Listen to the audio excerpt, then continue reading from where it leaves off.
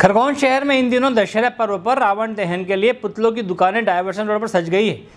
यहाँ बन रहे रावण शहर ही नहीं, आसपास के ग्रामों में आने वाले लोगों को भी आकर्षित कर रहे हैं। नवग्रह मंदिर तिराहे पर करीब आधा दर्जन रावण के पुतले बिकने के लिए तैयार है। कोरोना के दो साल तक रही पाबंदियों को देखते हुए इस साल पुतला निर्माण करने वाले कलाकारों को ज़्यादा पुतले की बिक्री की उम्मीद है। राकेश सोनू ने, विजय बाबा, महेंद्र चौहान ने बताया कि यहाँ पर दो हज़ार रूपए से लेकर पचास हज़ार रूपए तक के पुतले बिकने के लिए तैयार खड़े हैं। कई समिति वालों ने पुतलों की बुकिंग करा रखी है। वहीं कई बच्चों की टोलियाँ 5 से 21 फीट के रावण के पुतले की मांग कर रहे हैं। खरगोन से जयंत गुप्ता की रिपोर्ट। बनाते हैं हम पाँच फीट से लेके बीस, इक्कीस फीट तक का। जो बड़ा है ऑर्डर वो। अभी तो बड़े कुछ हमारे पास ऑर्डर है नहीं। छोटे बना रहे हैं। कुछ और भी हम चाहते हैं कुछ ऑर्डर मिले। अभी हम दुकान लेके बैठे छोटी मोटी हर साल आते हैं क्या? हर साल आते हैं। कौन से फीट का राउंड बनाते हैं आप लोग?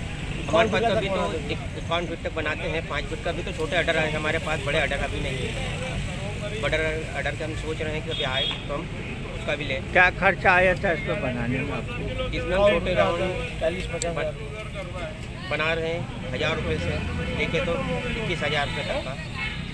बड़ा है जैसे कान हाँ। फीट तो कितना में बनता है पचास हज़ार। इक्यावन फीट का राउंड आता है तो उसका हम लेते हैं चालीस पचास हज़ार रुपये। तो वो तो अभी अभी हमारे पास है नहीं इतना बड़ा ऑर्डर का।